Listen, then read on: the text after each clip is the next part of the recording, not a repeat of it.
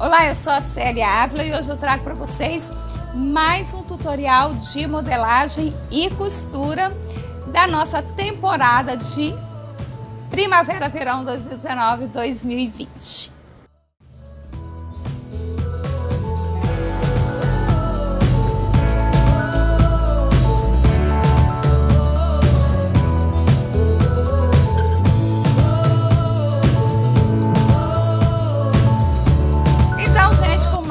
Tutorial aqui para o canal. Hoje a gente vai modelar e costurar uma saia evasê com bolso chapado. Saia evasê, ela é clássica, ela veste bem todo tipo de corpo.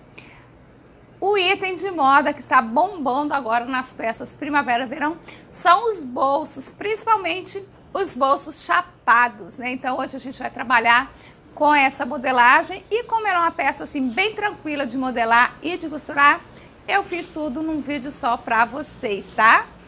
Essa saia eu fiz para compor com top com manga bufante, que eu ensinei aqui no canal, então que é esse aqui que eu estou usando, o último vídeo de modelagem aqui do canal foi desse top. Quem ainda não assistiu, vou deixar o link aqui para vocês assistirem. E aproveita, né, acompanha aí toda essa série, né, toda essa temporada de modelagens que vão bombar aqui no canal. Então não perde, ativa as notificações. Ah, e aliás, é, se inscreva na minha lista VIP para você receber aí no seu e-mail toda a programação aqui do meu canal. Eu deixei aqui na descrição desse vídeo o link para você se cadastrar.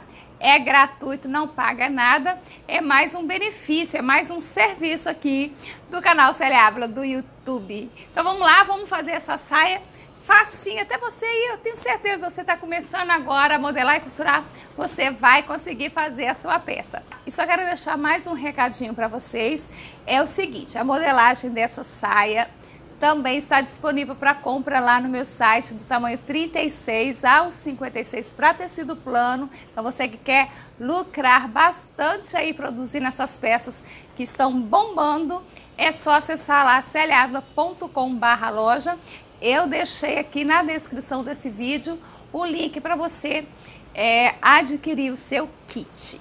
Então vamos lá, minha gente, vamos fazer essa saia e vamos ficar lindérrimas agora nesse verão? Vem comigo! Nós vamos fazer a interpretação desse modelo, dessa saia, uma saia evasê. Aqui no canal tem vários vídeos onde eu ensino fazer a interpretação de saia evasê. Então, eu não gravei o passo a passo até aqui esse ponto de transformar a base numa saia vazê, porque eu vou deixar um vídeo aqui onde eu expliquei passo a passo, bem detalhado para vocês assistirem, que é a saia evasê com cos anatômico e bolso faca. Então, vocês vão assistir aquele vídeo, vão fazer o passo a passo a partir da base, transformando a sua saia na saia vazê, até ela chegar nesse ponto aqui, com cos anatômico e a parte aqui da saia, tanto na parte da frente quanto a parte das costas, vocês vão seguir aquele passo a passo. A única diferença na questão aqui do cos, na parte das costas, é se vocês não quiserem colocar transpasse de botão, é, igual eu fiz na saia, e na verdade essa saia, o molde dela que está disponível para comprar na loja, é com transpasso de botão, mas como tem, é, vocês me fizeram pedidos, me pedindo que eu ensinasse a costurar um cos com zíper invisível sem botão, Aí eu vou ensinar agora para vocês, é uma dúvida de muita gente querendo aprender. Como é que faz para a gente colocar o zíper direto aqui em cima no cos, sem precisar de botão? Então, eu fiz dessa forma, vocês viram agora na costura, tá? Mas quem for fazer com transpasso de botão, não quiser o cos até em cima, segue exatamente o que eu ensinei no vídeo da saia e vazia com cos anatômico e bolso faca.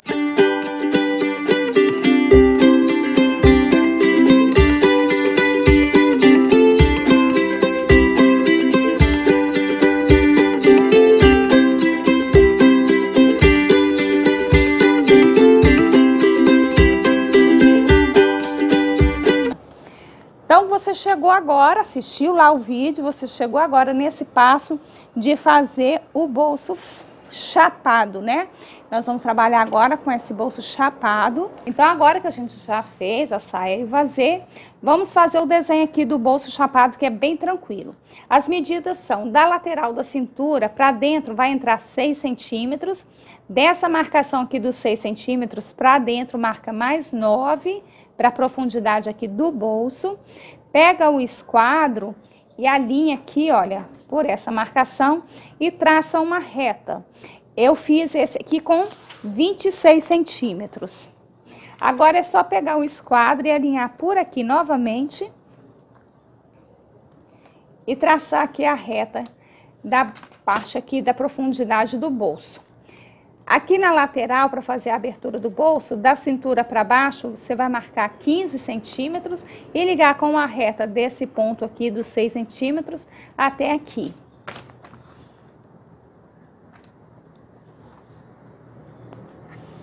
Prontinho, o desenho do nosso bolso é esse. Agora é só pegar um papel, colocar por baixo e copiar com a carretilha o contorno desse molde. O formato final do molde é esse. Se você quiser, você já pode cortar o molde com acabamento aqui, olha, de bainha, igual eu fiz. E para fazer esse acabamento aqui já preso, é só você pegar aqui o papel, antes de recortar aqui o bolso, e dobrar ele na linha da abertura aqui da boca. Dobra. Aí você corta aqui na parte da cintura e aqui na lateral. Aí agora é só definir qual é a distância que você quer. Eu vou marcar aqui a distância dessa régua, que dá uns 3 centímetros. E vou cortar aqui, ó. Pronto. Aí eu tenho aqui essa parte aqui do acabamento da abertura do bolso já pronta, não preciso costurar ela aqui. Aí ela vai ficar assim na hora que a gente cortar. E depois a gente vai bater uma costura aqui para prender, para ela não ficar saindo. E o resultado do bolso é esse aqui. O bolso é cortado um par. E o resultado do bolso é esse aqui, né? Que a gente vai fazer assim o acabamento. Prontinho, agora vamos lá costurar essa saia linda. Então, gente, para fazer essa saia, eu gastei um metro e dez de viscose. Pode ser usado linho, cambraia, tricoline, crepe bulbo, crepe amanda. Essa saia pode ficar boa na sarja também. Eu posicionei aí o molde, a parte das costas lá na orelha a frente na dobra do tecido, o cos da frente, o cos das costas, nós vamos cortar ele duas vezes cada um, e o bolso já está com o tecido dobrado, vai ser cortado um par, só observar o sentido do fio do tecido na hora de posicionar o molde. Então, vou começar a montagem pelo bolso, já passei aí vincando um centímetro de bainha que eu deixei nos bolsos, e essa parte aí, né, que eu já deixei de bainha na hora que a gente fez o molde. Eu passei uma entretela nessa parte, porque o tecido da viscose ele é muito fininho para dar uma encorpada, tá? Se você quiser passar, fica melhor o resultado. Aí agora eu posicionei o molde sobre a parte da frente, nas marcações que a gente fez lá no molde, alfinetei e vim costurando esse bolso aí na saia. Então, devagar, porque toda costura aparente, ela né, fica muito, ela é aparente, né, gente, fica muito visível, então tem que ser bem retinha, bem bonita. Aí na cintura eu já bato uma costura para prender esse bolso aí, para ficar mais fácil na hora de pegar o cos, tanto na cintura quanto aí na lateral. Tá vendo? Muito tranquilo fazer esse bolso e tá super em alta bolsa, com, é, peças com bolso chapado, né?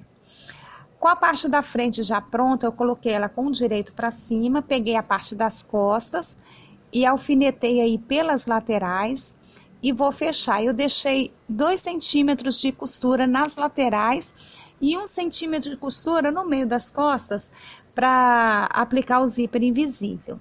Então, vem com calma. Se você não tem prática, na hora que você cortar, antes de tirar o molde, você pega um giz e vem riscando no contorno do molde, que aí você costura retinho de primeira. Então, olha, a saia já tá toda overlocada, a parte da frente com o bolso toda prontinha. Eu vou começar agora a trabalhar com o cos. Eu peguei o cos, todos os dois cos, a parte da frente e a parte das costas, eu passei entretela, porque essa, essa viscosa é muito levinha, né, gente? Mas não tem necessidade, pode ser só na parte externa. Então, passei entretela, agora eu vou colocar direito contra direito e vou unir o cos interno e o cos externo, todos dois com uma costura pelas pontas. Então, a gente vai fechar o cos interno e o cos externo separadamente. Então, olha só, ele forma aí, ó, tá vendo? Ele é anatômico, ele fica meio arredondado. Então, eu vou pegar o cos, direito contra direito, meio do cos com o meio da saia.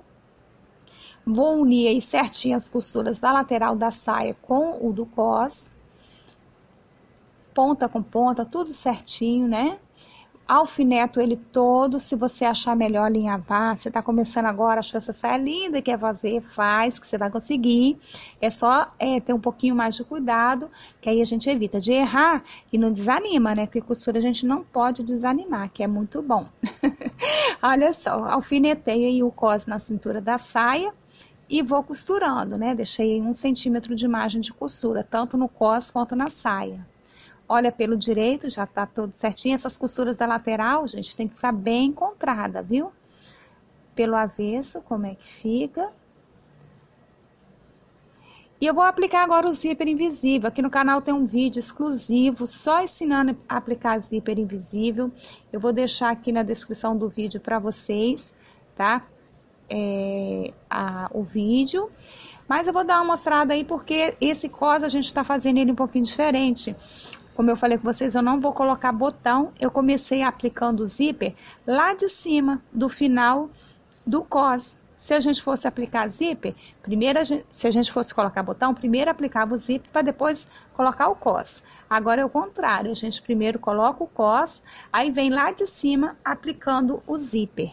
Então agora tô colocando aí ó, o pezinho próprio para costurar zíper, né? Aí eu venho montando esse zíper normalmente, lá de cima para cá. Esse acabamento aí, ele vai ficar tipo assim, com acabamento com revel. Se vocês já estão acostumados a ver acabamento com revel, é a mesma coisa. Uma coisa que a gente tem que prestar atenção assim para ficar tudo certinho é a costura do cos, né? De um lado e do outro, têm que dar na mesma direção para ficar bonito, né? Porque se fica uma para cima, outra para baixo, né? Fica desencontrado, aí fica feio. Então, presta atenção aí. O mesmo tanto de costura que deixou de um lado, deixa do outro. No meu caso é um centímetro, é exatamente aí a largura do cadastro do zíper, né? Então, alinha aí a costura dos dois lados do cos, alfineta.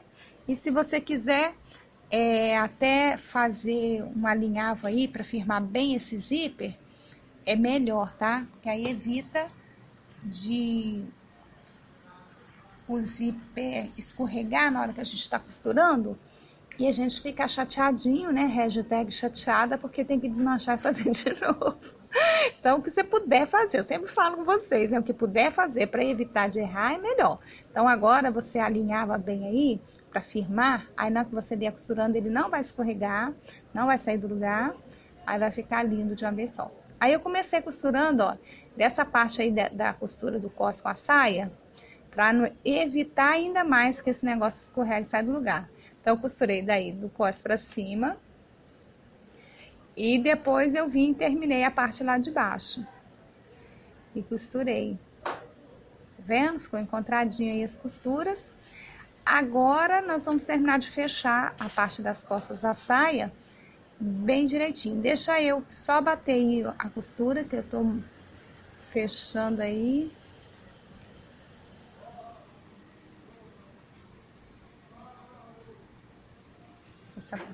Bom, agora vamos voltar com o pezinho normal da máquina de costura reta.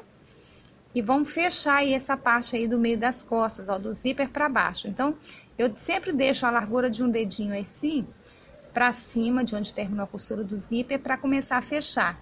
Que aí ele fica bem preso e não fica desmanchando. Você vai dar um pequeno retrocesso, não fica retrocedendo muito, porque senão rasga o tecido, né?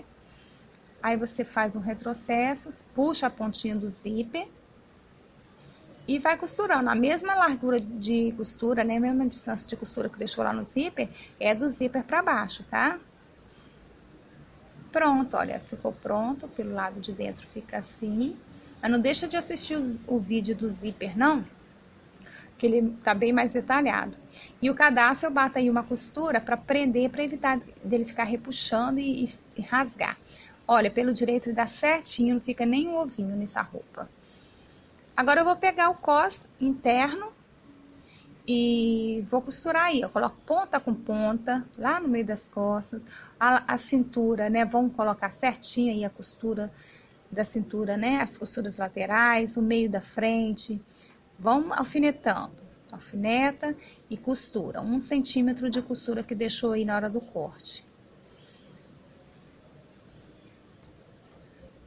Dá uns piques também, gente, que você quiser ir dar uns piques para evitar que esse cos fique repuxando é bom dar uns piques. Agora vou jogar a costura e o cos interno para um lado só. E eu deixei ali a largura de um dedo do zíper para dentro, para começar a bater aquela costura que eu chamo costura de pesponto. Tem gente que chama costura de segurança, né? Mas a gente precisa bater essa costura para que a parte interna do cos não fique subindo e aparecendo no direito da peça. Eu sempre falo com vocês, né? Roupa bonita, todo mundo quer aparecer. Aí a, ah, ele, a roupa é bonita, mas eu tô aqui dentro, ninguém tá me vendo. aí chegou lá no final, ó, deixa também um dedinho antes de começar a costurar o zíper. Vamos bater a overlock, tá? E vou pegar agora, ó, tô com a parte do direito para cima, não tô? Vou jogar ela direito contra direito e vou bater uma costura, prender nessa parte interna do cos, o zíper, né, o cadastro do zíper e a parte do cos externa fazendo aí um sanduichinho.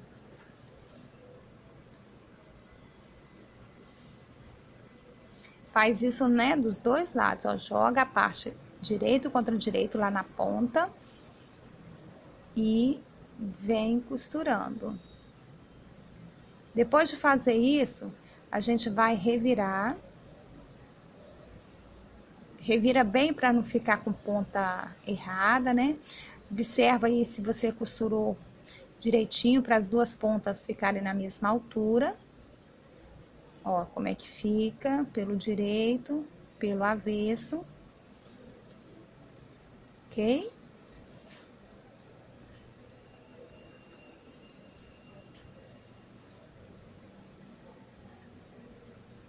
Ó, confere se o zíper, né, na hora que você costurou lá os tá terminando aí na mesma altura, isso é muito importante. Se você quiser usar um cochetinho de gancho interno ali, fica bom também. Agora eu passei bem passado, tá? Alfinetei, não vou embutir nada, não precisa. E vou bater uma costura, prendendo ali essa parte do cos. E já é, vinquei a bainha, deixei 3 centímetros de bainha. E vou fazer essa bainha. Então, olha só, eu vou começar a costurar um centímetro, um dedinho aí, ó, de onde começou o zíper. E essa costura, ela vai ficar no meio da costura, entre o cos e a saia. Então, vem com calma, devagar, porque essa costura, o tecido tem que ser bem abertinho, tá vendo que eu tô abrindo assim com a mão para ele não enrugar? Tem que ser bem aberto. Ó, ele vai ficar assim. É só isso, gente, é muito fácil, né, fazer esse cos. Eu tenho certeza que vocês estão começando agora, vocês vão conseguir, hein? Desanima não, anima aí, vai praticando, que praticando é que a gente chega lá. E fiz a bainha sem embutir, mas se você quiser caprichar mais ainda e fazer uma bainha embutida, vai nessa. Gente, então espero que vocês tenham gostado desse vídeo. Se gostaram, não deixe de compartilhar nas redes sociais para que mais pessoas venham conhecer aqui o meu trabalho, aprender a costurar e modelar com a gente. É, comenta, compartilha, dá joinha, se inscreve na minha lista VIP para receber as notificações do meu canal aqui por e-mail, tá? Toda semana eu mando as notificações de toda a programação do meu canal por e-mail para vocês. O link para se inscrever na lista VIP está aqui na descrição desse vídeo. Um beijo para vocês. Ah, e não deixe de acompanhar as aulas ao vivo, não. Terça e quinta, às 14 horas, aula ao vivo de costura, tá bom? Uma turma grandona, animadaça, animadaça já está participando com a gente. Então tá, gente, um beijo, obrigado por ter assistido esse vídeo.